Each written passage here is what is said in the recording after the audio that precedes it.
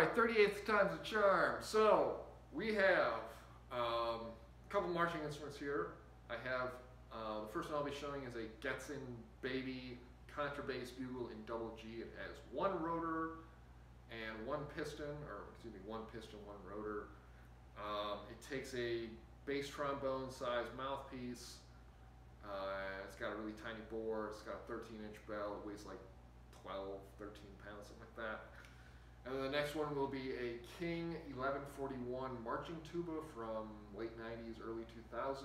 It has a 19 inch bell, 687 inch bore. It's got three piston valves on the right hand and one piston valve on the left hand. So you, it's like this and like this. You're playing it like this.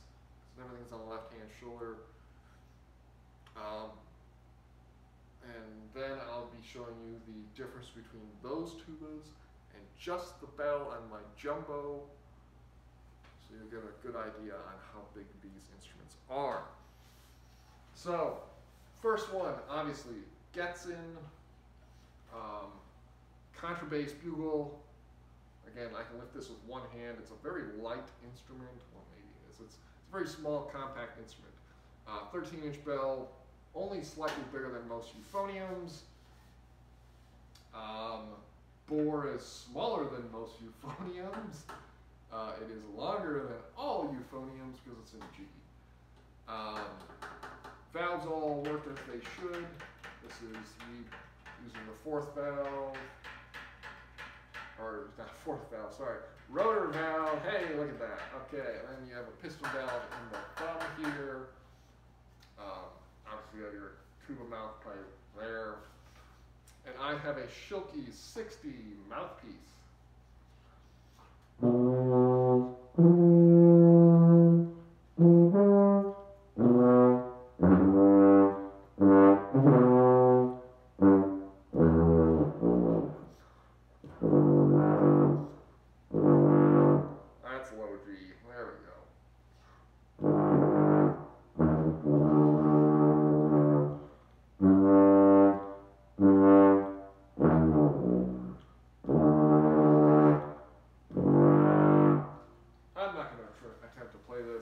I did learn one scale earlier today.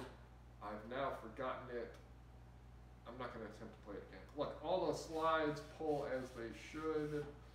Um, I guess this one is what, somewhere else. I don't remember where all the slides are on this. Oh yeah, this one goes down. Yeah, this one goes down towards the player and comes out as well. Oh god. Um, there, there, and then I guess that's oh yeah. Then I got a main tuning slide in the back here. All right. Maybe I'm not sure. This whole instrument confuses. It's it's a lot of tubing. It's a small instrument. Okay, so like one-handed, I can pick this up. It's no problem. So some people I know have converted or have attempted to convert this to like a small instrument, which this is probably perfect for, like a small, you know, B flat, like a small F tuba, if you can do it somehow. Um, my uh, desire was to convert this to uh, contrabass trumpet originally, so playing it like um, playing it like this. So playing it with uh, like baritone valves, and I probably had to um, have the bottom bow cut and then the bell flipped out so I could have an extra long trumpet. I think that's what the plan was. No, well, I, I don't know. Um, then more recently, I had the idea of converting this to an OTS, over the shoulder Civil War era style, because I have a rotary Chinese baritone with four rotors. I was going to put on this thing, and then you'd have essentially the uh, valve body sitting out in front of you, like this almost. And then the bell would be projecting behind you, but like out here. You know what I mean? And then you'd have valves up here. You, you've seen those. Um, so there's, there's that. Uh, that one's in really nice condition for however old it is. I don't know, like 80s or something, maybe 60s, who knows. So the next one is a King 1141 marching tuba. This has a 19 inch bell, 687 valves, four valves. Uh, it's in B flat.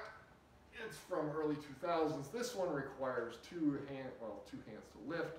It's just a heavier instrument. I can't balance that as easily as this tiny little tiny tuba. Obviously, you can tell the difference between these two. So. So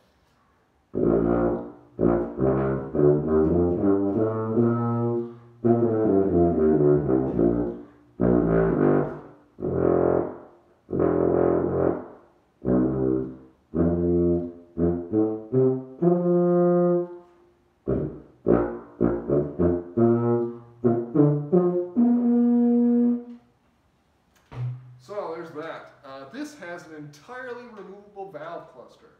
So whole fourth valve can be removed. It has Allen screws because it has removable braces. So you have four screws to remove. And then this whole section slides out because there's a like small tuning slides, even though they're not tuning slides, they're just slides. Um, some extra thick lanolin on there or something. Um, and then you have four more removable screws, and then the whole valve section drops down. One of the inner bows connects to the knuckle on the fourth valve. Um, and again, it's X is longer than your standard one because it has a slide on the inside. Slide, I say slide, but it's inner tubing, and it, it acts like a slide, even though it's essentially only serves one purpose. Um, so the whole thing drops down, you can pull it out, makes for cleaning the valves exceptionally easy, makes for taking dents out of instruments really easy, just servicing the instrument in general. Uh, I have to get four braces repaired on this, or rather resoldered, so I have to take it in and they'll just essentially heat it up, apply some flux, put it back together, you know, press it together lightly, and then let it cool down. That'll do what it needs. And then I have to have main tune slide pulled because it's stuck in there. And this one came from uh, UNCP Music. Um, I'd have to look up who that is. And maybe it's University of North Carolina something. I don't know what the P stands for. Um, UNCP, yeah, I don't know. Or maybe it was from a drum corps, I'm not sure. Um, the bell is probably the worst thing on this. Uh, it looks like it's seen some abuse. Looks like it's maybe been dropped because there's a, a, a tweak in the bell. There's like a something there, and then the uh, there's some pings along where the uh, bell rim is. The bell rim has that flattened look like someone was leaning on it when they shouldn't have been. Um, so there's that. So it has a case. Phone is resting on the case. And then we have, obviously, we've all seen me play these things before, the jumbo sousaphone. So, so how big those instruments are. Again, you have your G bugle, you know, not not that big, no bigger than really like a sort of longer euphonium. You have your concert tuba, you know, your essentially four quarter size concert tuba in marching form. And then you have the biggest thing of all, a jumbo bell, which, you know, a 30 inch bell on this is a big thing. Um, it weighs almost as much as my Getzen Baby Bugle, but uh, this is a, a, a King Jumbo Bell from the heyday of giant instruments. Could still do these things, and people would buy them. Not saying that they wouldn't buy them now, but they can still buy them. Well, you can still buy them somewhere. People have them for sale. This one is for sale. Um, so that's that's marching instruments of the couple that I have. Uh, there, there you go.